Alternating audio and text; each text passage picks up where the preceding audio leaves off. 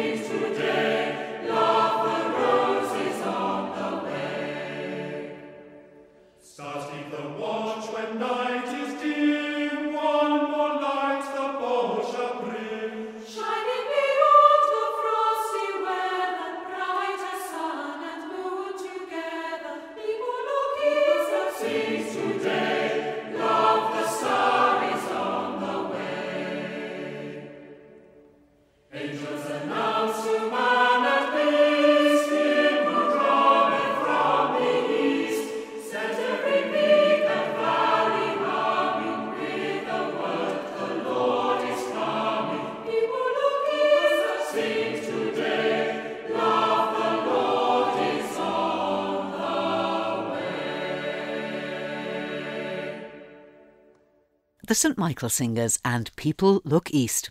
And if you've got a million and one things to do before the big day itself, you won't need me to remind you that we're over halfway through Advent, the weeks of December when the Church asks us to prepare for the great feast of Christmas in a way that doesn't involve money or any material things. Advent is the Latin word for coming, and there are three meanings of coming that Christians are thinking about just now. The first happened about 2,000 years ago when Jesus came into the world as a baby, lived as a man, and died in order to open up to us the way to an everlasting life. Christians believe that there will be another coming one day when Jesus returns not as a baby, but as a king with a kingdom that has no end. But there's yet another coming, and it's happening right now. In all the noise and busyness that surrounds Christmas, Jesus wants to come quietly into our lives with gifts that are free and last forever. Gifts of love, joy, peace, and hope, and they come like a candle's flame, small and silent, but steadily driving out the darkness and showing us something wonderful. But with all that pressure to celebrate Christmas by buying and doing, it's easy to overlook the huge importance of that first coming the birth of Jesus in poverty in a stable in Bethlehem. That's why Reverend Alex Brown, our pioneer minister working in Douglas, was so pleased when Oliver Cheshire from Douglas Town Centre Management asked him if he could stage an outdoor presentation of the Nativity right here in the town centre on the last late night shopping evening of this year. Maybe you heard Alex and Oliver talking about it on this programme last week. It's this Thursday, the 19th, in Villiers Square on the corner of Regent Street and the Promenade, and the Nativity story will be told through narration, dance, drama, and music. There'll be live animals, just as there would have been at the birth of Jesus, and a chance for everyone to share in the story by singing some favourite Christmas carols.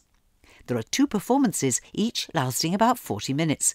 The first is at 6 pm, and then it's repeated at half past seven. It's all completely free, but in order to keep everyone safe, you must have a ticket. They're very easy to download. Just go to pioneerdouglas.im. That's all lowercase, no spaces. Pioneer Douglas. Someone else who's very enthusiastic about Christmas Live is Lieutenant Dylan Nieuwoudt. Dylan and his wife, Lieutenant Rachel, are the officers in charge of the Salvation Army on the island, based in the old Fairfield school buildings here in central Douglas. And they have a big part to play in Thursday's outdoor nativity, as Dylan now explains. The Nativity story, it's the reason for the season. And although we can enjoy shopping and the retail and all the commercial side to Christmas, to the Christmas season, um, it's coming back to the, the main focus of Christmas. And I love the simplicity of a nativity involving the children. I love the idea of involving real animals. And I think uh, that townspeople will get really excited to see that happen this year. I'm excited to see that happen. And it's just bringing the story to life because that's what uh, the Nativity is all about. It's telling the story of uh, a gift from heaven to all the humanity. I'm just really excited to see what's going to happen. I think we're going to make a bit of history. You know, it's something to remember and to be proud of, and uh, just really excited to to experience the atmosphere of this event. And we actually invited uh, Alex to come and join us as a church to explore what the mission of God could look like in our community and the wider community. And um, when Alex came came to us with this idea, we thought, great, we can get the Salvation Army involved, particularly with the music. Uh, we have our brass band, we have our songsters, the choir, and uh, we have these gifts that we can use. And we really feel strongly about partnering not just expressing the christmas story ourselves but sharing that story in partnership with other churches uh, with other charities and the, the community groups.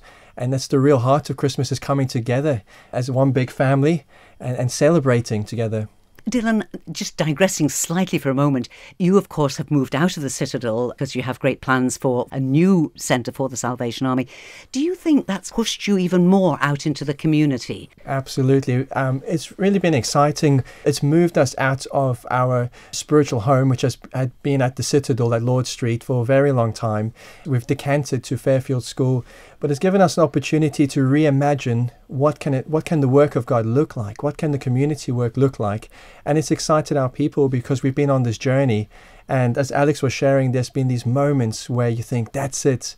And we just need to be ready and grab hold of those opportunities. Our church folk are really excited to uh, to get involved to participate. Yes, it's challenging us that we don't just continue with the status quo and doing things as we normally do things, but imagine how can we broaden our horizons and get creative. But at the same time, you are providing your traditional Christmas meal, aren't you? And of course, the huge support that you give to the community through Christmas parcels. You're still doing all of that. The core of the Salvation Army work is still there, isn't it? Yeah, uh, Christmas season is a very important season for us, and uh, we're serving the community on Boxing Day. We're providing a, a lunch. I think last year we had over 70 people from the community come and share with us in a lunch, and uh, we're going to share in fellowship together and enjoy that time together on Boxing Day. We're uh, helping out with our toy appeal as usual, and at the minute we have about 370 children that we're helping out uh, through the social care agencies and uh, we're providing food vouchers to around 350 family units, going into the hospital, meeting all the prisoners, just sharing the Christmas uh, message.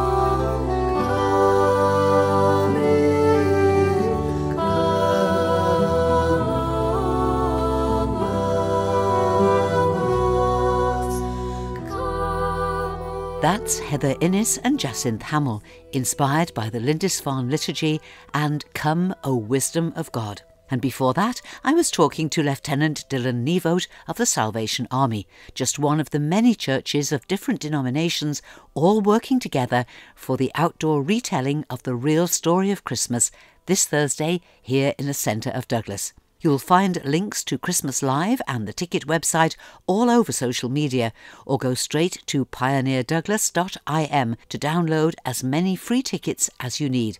If you don't have internet access, pop into Oliver Cheshire's office at 13 Church Street by Shaw's Brow Car Park entrance here in Douglas. Another Christmas tradition that's firmly established on the December calendar is the Tynwald Carol Service, organised by the Chief Minister's Office and involving the many musicians who work in various government departments. But the service itself is open to everyone to attend. This year it was held in St Mary's Roman Catholic Church in the presence of His Excellency the Lieutenant Governor and the Lord Bishop and it was led by the Archdeacon, the Venerable Andrew Brown, who is also chaplain of the House of Keys. We were there to record it, and I bring you some extracts from the service for you to enjoy now. Deputy Clerk to Tynwald, Jonathan King, was, as usual, the very able musical director, conducting the Tynwald Choir and the brass ensemble of Peter Smith, Brian Osborne, Chris Weeks, Martin Norbury, and Andrew Radcliffe, who gave a stirring accompaniment to the congregation carol singing. The government staff choir, directed by Mandy Griffin, was another welcome addition to the service. In a few moments, you'll hear both choirs and the brass ensemble all together with a wonderful version of Gaudete and Bible readings by Kate Lord Brennan, MLC, and MHK's Rob Callister and Ray Harmer. And chaplain to the Keys, the Venerable Andrew Brown, has a word in season. But we begin with the Tynwald Choir, directed by Jonathan King, and Shine, Star, Shine, with music by Frank Woolley and words by Breesha Maddrell.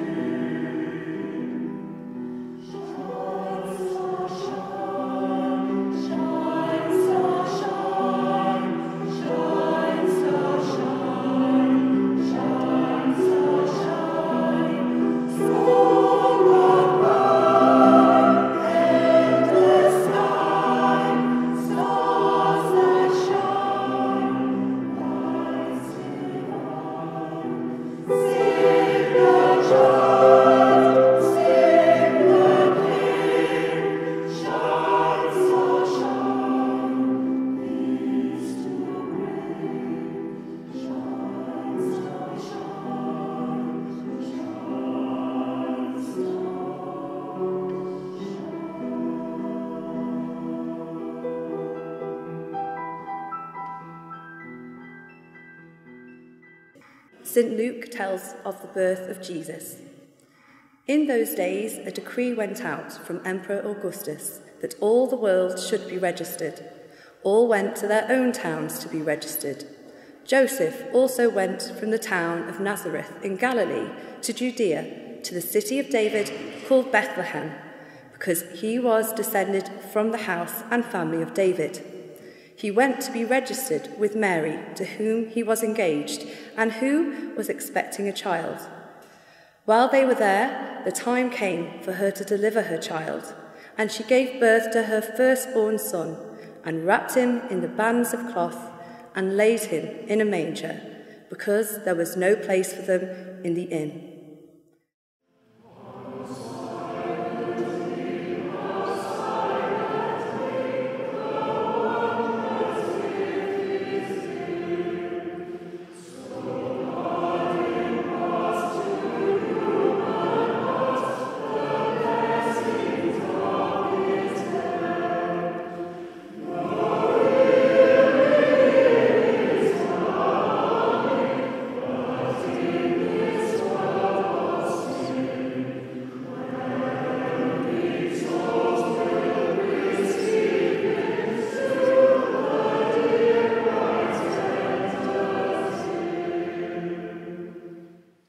In that region, there were shepherds living in the fields, keeping watch over their flock by night.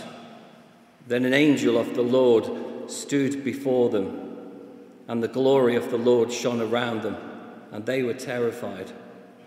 But the angel said to them, Do not be afraid, for see, I am bringing you good news of great joy for all the people. To you is born this day in the city of David a Saviour who is a Messiah, the Lord. This will be a sign for you, and you will find a child wrapped in bands of cloth and laying in a manger. And suddenly there was with the angel a multitude of heavenly hosts, praising God and saying, Glory to God in the highest heaven, and on earth peace among those who he favours. When the angels had left and gone into heaven, the shepherds said to one another, Let us go to Bethlehem and see this thing that has taken place. Watch the Lord, what the Lord has now known to us. So they went with haste and found Mary, Joseph, and a child lying in a manger.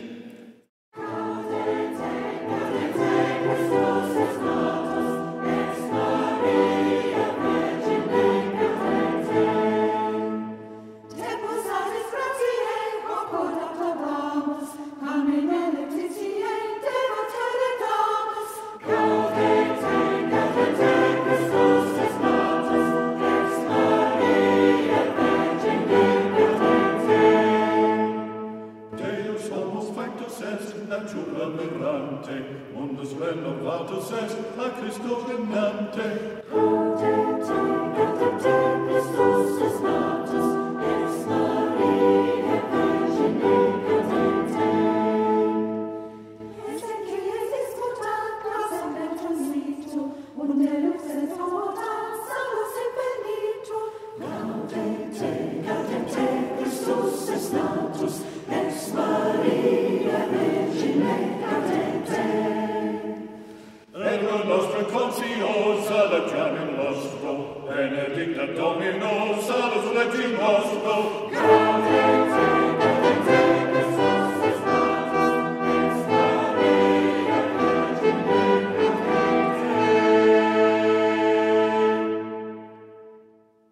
St. John unfolds a great mystery of the Incarnation. In the beginning was the Word, and the Word was with God, and the Word was God. He was in the beginning with God. All things were made through him, and without him was not anything made that was made. In him was life, and the life was the light of men. The light shines in the darkness, and darkness has not overcome it. There was a man sent from God whose name was John. He came for testimony, to bear witness to the light, that all might believe through him. He was not the light, but came to bear witness to the light. The true light that enlightens every man was coming into the world. He was in the world, and the world was made through him, yet the world knew him not. He came to his own home, and his own people received him not. But to all who received him, who believed in his name, he gave power to become children of God, who were born not of blood, nor of the will of the flesh, nor of the will of man, but of God. And the Word became flesh and dwelt among us, full of grace and truth, and we have beheld his glory, glory as of the only Son from the Father. Thanks be to God. Speak to me, Lord, and speak through me, and build up your people gathered here today for Christ's sake. Amen. Incarnation. Let me tell you, as a lad from a Lancashire working class family, incarnation is, is how honest people eat their tinned fruit on a Sunday afternoon. in Carnation milk. The Word became flesh, wrote John in the prologue of his Gospel, and dwelt among us, full of grace and truth. That's, of course, what the word incarnation really means that God took on frail human flesh the ultimate mystery becomes a frail and helpless human baby. God among us means quite simply that God has walked the earth. We are on holy ground, not because we're in a beautiful church, but because we're on a beautiful planet. Moses at the burning bush was told to take off his shoes because the ground on which he stood was holy ground. And incarnation means simply that all ground is holy ground because God not only made it, but walked on it, ate and slept and worked and died on it. This planet matters. This beautiful, but broken world has ultimate significance and cannot be ignored or abused with impunity. We use it as a mere commodity, or worse still, as a dumping ground at our own spiritual human peril. Because it is sacred we are all charged to take every little bit of this planet with an ultimate seriousness because God takes every atom of it with an ultimate seriousness. Secondly, incarnation means that we matter. You matter. Human beings matter. God became flesh. John wrote a little later in his Gospel that God so loved the world that he gave his only Son. The God who is beyond our comprehension and yet as close to us as our next breath. This God came among us to seek us out in love, to transform our humanity. And if I may use the words of an advertisement for cosmetics at this point. God did all this because you're worth it. you are worth it. God became flesh means you are worth it. Every single human being is worth it because every single human being is sacred and wonderful and beautiful and amazing from the richest to the poorest, from the outcast and the refugee to the lawmakers and the rulers. We are leveled by the incarnation, but we are not leveled down. Friends, we are leveled up, we are lifted up, raised to the level of a sacred humanity, a cherished humanity. and it means that God loves us. A love that cost everything and includes everyone. A love that challenges us, that calls us to be our best selves, not just at Christmas, but for every moment of every life.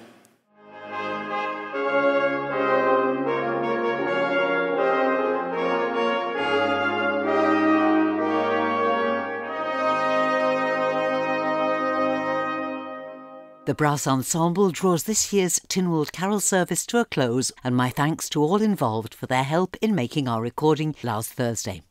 Now, where do you stand when it comes to Christmas parties? Love them or loathe them? As these folk shared their views, it certainly got me thinking. I was actually a very shy child. I used to almost get sick at the thought of going to a children's party of any kind, but particularly Christmas parties. But the one thing that induced me to go was those were the occasions when I could wear my sparkly shoes. I think every little girl that grew up in the late 50s, early 60s had identical silvery, sparkly shoes, and they were so beautiful that it made me get over my nervousness about actually going to parties. I think really Christmas parties and New Year's parties, particularly, have been somewhat spoiled for me by the fact that when I was 11, it was during a New Year's Eve party that my parents split up. That was the when my dad told my mum he was leaving her. So anytime there's merriment at Christmas and large gatherings of people, I, I wonder whether that sparks some strange child of divorce memory. I think for a lot of my life, I have been the person that seems to be organising things. And when I think of Christmas parties, it's the ones that I used to organise for Sunday schools when I was involved with that, where you had to think about who was doing the food, where the presents were coming from, making sure the games were all going to work. Um, do you know that 12 wrappings is about the ideal for pass the parcel? If you want it to last just the right length before kids start getting really fed up and bored, um, make it 12. The Christmas party has a long history. In 1652, a book entitled The Vindication of Christmas makes note of old English Christmas traditions, including card playing, dances with ploughboys and maidservants, and carol singing. Nothing changes really. This Christmas, we pray for all partygoers. May they be safe, and may they find real joy amongst the sometimes disappointing revelry.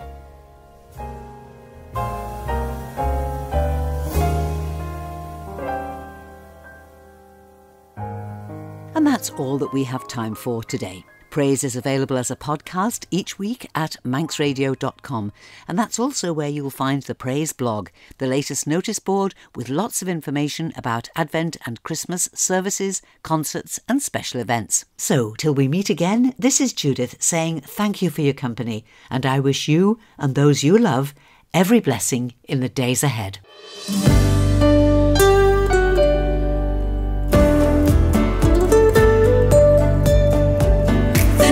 Station, Manx Radio.